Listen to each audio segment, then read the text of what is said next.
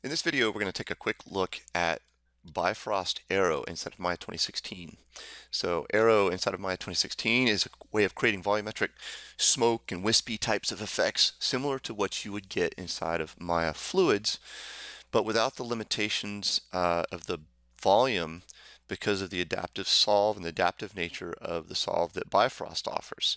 So you can get larger volumes uh, with better performance and not have to worry about the overhead that that contains. And Daryl has a great video on showing exactly how that works with some laser blasts in the Maya 2016 uh, demos that are online.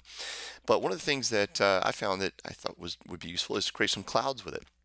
And I, have wanted to do this inside of Maya for, for quite a while since uh, I saw the Paths of Hate video and the demonstration that the guys from Platige showed in their hardware clouds. And there have been tons of videos online of how to do that in Max, and uh, there's multiple ways of doing it inside of Maya, but you run into a few limitations here and there with regards to color per vertex and different things that um, I thought really um, cause it to be a little bit prohibitive in terms of speed and that kind of thing. So Bifrost Aero offers a really nice way of, of doing that. So the way we're going to work with this is I'm going to create these um, sort of cloud objects and I'm just going to create by using shift right mouse button clicking on this object and transforming the component. Now if I just do this by default I get just sort of a, a movement in this case according to the normal, but I can use this random value to sort of distort that just a little bit, and that's pretty useful. Uh, I might even want to do that on the vertex level. So let's, again, right mouse button, click on these guys.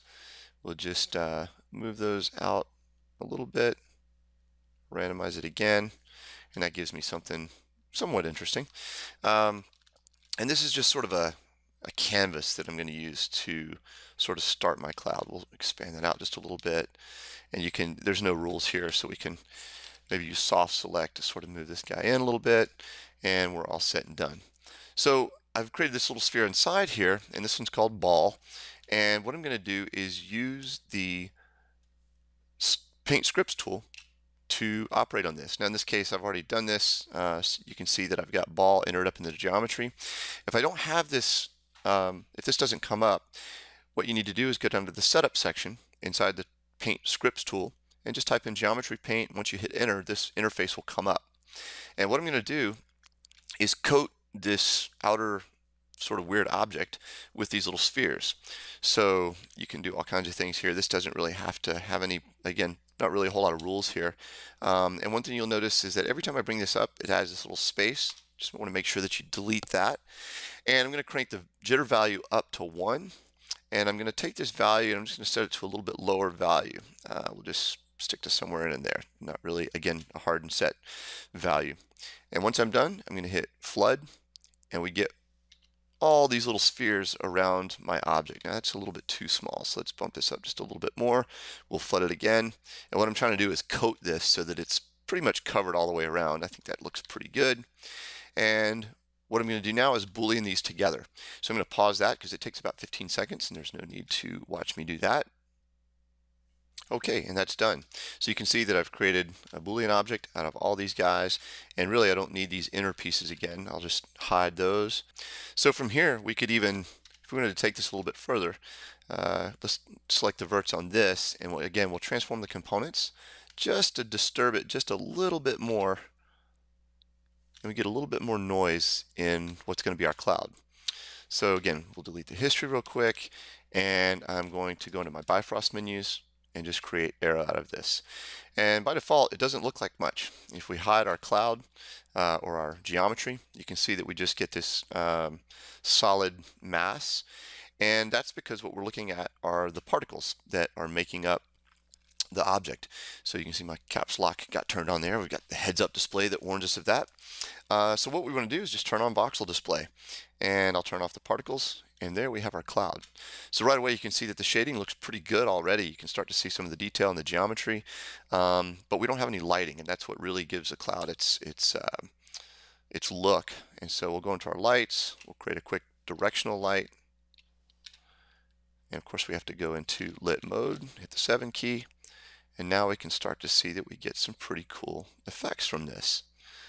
And so there's a couple of things that control the look of this inside the Bifrost Aero material. So there's two things. One is the resolution, but we can stick with what we've got now. I'm going to select the shader so we can see what's going on here.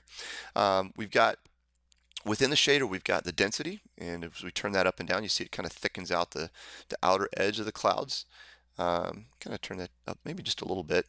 And then the emission, absorption, and scattering dictate what the lighting looks like. So the emission is going to basically make it like a light source um, in uh, some respects. Uh, so the color is pretty important. So uh, if we want to get just a little bit more of a blue uh, daytime effect of that, maybe a brighter cloud. It's pretty easy to do. And then we can start playing around with the intensity. And as we dial that up and turn move around to the back side of the cloud, you start to see we get a little bit of nice backlighting depending on where you're sitting. And now we start to lose a little bit of the detail. So we can uh, maybe change a couple of things on the shader. We can add some of the shadow opacity. We can increase that just a little bit to bump that up. Uh, we can increase the absorption. So it's going to absorb the light or uh, obviously absorb more light or less light. And then there's scattering within that. So we can scatter the light uh, within the cloud pretty nicely. And we could even add another light. But the last thing I'll do, just to add some of the detail, is to go into the Bifrost Aero container and change this master voxel size. So as I turn this down, it's going to increase the detail that it's going to pick up in that piece of geometry that you was we used to create that. So I'm going to dial this down to about 0.3 make sure we hit the rewind button and you can see down in the timeline that Bifrost recalculates that and now we start to see a little bit more of the lighting on each one of those pieces. And again all of that can be changed with the absorption and the um, scattering within the shader itself.